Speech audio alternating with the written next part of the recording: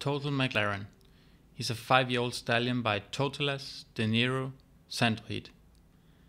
This black beautiful stallion was discovered at the KWPN licensing in 2020.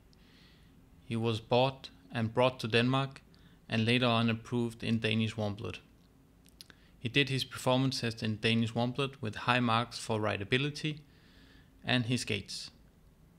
As a four year old, he was number two in the qualification for the Oldenburger Championship. Here he scored a total score of 8.8.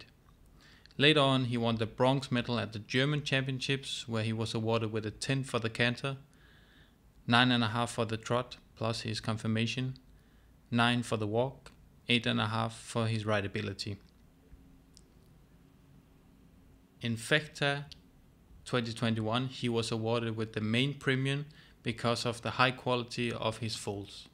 We saw some high quality foals with the black coat, of course, and really beautiful types. I think from a Totilas son, you really get a modern type here with a good expression.